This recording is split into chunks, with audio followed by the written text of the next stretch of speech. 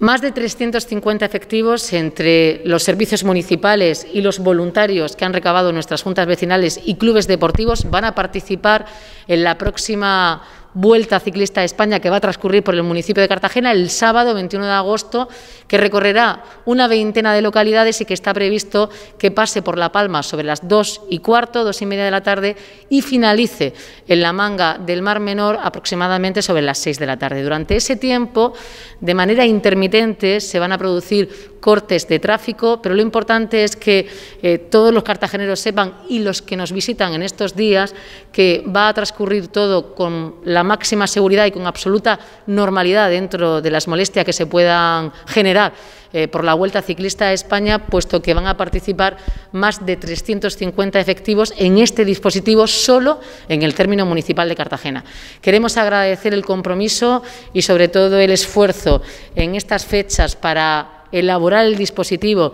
y para sumar recursos en esta octava vuelta en esta octava etapa de la Vuelta Ciclista a España, de Policía Local, de Protección Civil, de Bomberos, de la Concejalía de Deportes del Ayuntamiento de Cartagena, para que la Vuelta pueda ofrecer la mejor promoción de nuestro municipio a más de 170 países y, sobre todo, reconocer a todos los cartageneros y turistas que nos visitan estos días el que